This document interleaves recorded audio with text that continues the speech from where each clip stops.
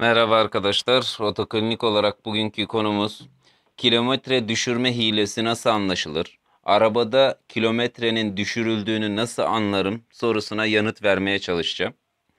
İkinci el araç alımlarında en çok kafaya takılan konu olma özelliğini uzun yıllardır ilk günkü gibi koruyan araçlarda kilometre düşürme hilesi nasıl anlaşılır sorusuna dilimizin döndüğünce bilgimiz dahilinde cevap verelim istedik.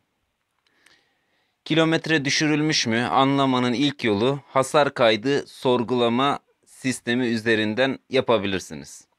Bunun için yapmanız gereken hasar yazıp boşluk bırakıp araç plakasını yazıp 5664'e gönderiyorsunuz. Gelen kilometre bilgisi ile şu anki aracın kilometresi karşılaştırılır. Böylece aracın kilometresi düşürülmüş mü öğrenilir. Lakin burada e, bir bilgi vermek istiyorum.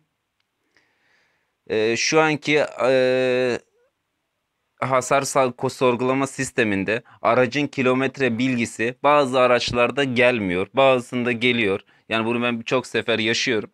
Sizin de bilginiz olsun. Bu şekilde öğrenebilirsiniz ama e, gönderdiğinizde size cevap olarak sadece hasar kaydı gelebilir. Kilometre bilgisi gelmeyebilir. Bunu da bilmenizi isterim. Çünkü e, sadece buna bel bağlamayın. Bir diğer yöntem ise alacağınız aracın bakımları yetkili serviste yapılmışsa eğer. Yani bir araç alacaksınız. Araç sahibi size dedi ki aracım bakımları devamlı yetkili serviste yapılmıştır. Hem bu bakımların yetkili serviste yapılıp yapılmadığını hem de e, kilometre bilgisini yetkili servise giderek öğrenebilirsiniz. Lakin burada da uyarmak isterim. Bütün servisler bu bilgileri vermiyor. E, bilmenizde fayda var. Çünkü e, kimi servisler bu bilgileri sadece kendilerinde saklı tutuyorlar. Ama yine de birçok, e, bunu da defalarca kez yaşadık.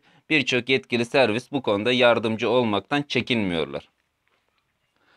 Ee, bir diğer yöntem ise enjeksiyonlu araçlarda yer alan motor kontrol ünitesi yani beyne arıza tespit cihazı yardımı ile bağlanılarak beyinde kayıtlı olan araç kilometresine bakılabilir.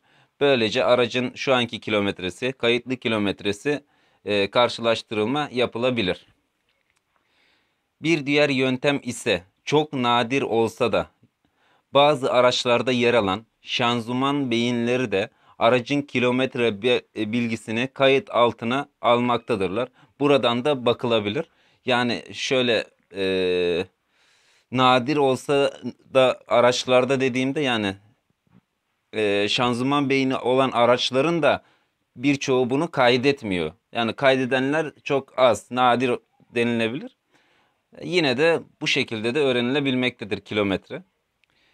Sıradaki yöntem ise benim en çok güvendiğim yöntemdir. Kesinlikle hatası yoktur. Nedir bu yöntem peki diyenlere? Alacağınız aracın torpido, koltuk, direksiyon, konsol, el freni, vites gibi e, kullandıkça deforme olan kısımların eskimesi, deformasyonu size aşağı yukarı kilometre hakkında bilgi vermektedir. Kilometre düşükse deforme az olmalıdır. Kilometre yüksekse eğer deforme çok olur. Eğer kilometre düşürülmüşse deformasyon fazla olacak ama kilometre düşük olacaktır. Buradan kolaylıkla anlayabilirsiniz. Yani de, e, tam bir 100 bin, 150 bin, 200 bin neyse kilometre bilgisi size vermeyebilir ama mesela aracın kilometresi 50 bindir. İçine baktığınızda e, direksiyon olsun, vites olsun, el freni olsun, ön konsol olsun. Hani böyle sanki 250 binmiş gibi gösteriyor olabilir. Bu tarz durumlarda kesinlikle aracın kilometresi düşürülmüştür diyebiliriz. Çünkü kilometreye e, yalan söyleyebilir ama deformasyon kesinlikle yalan söylemez. Size e, kilometre hakkında kesinlikle bilgi verecektir. Bu konuda hakkında sizlere anlatacaklarım bu kadar. Sormak istediğiniz soruları her zamanki gibi açığım.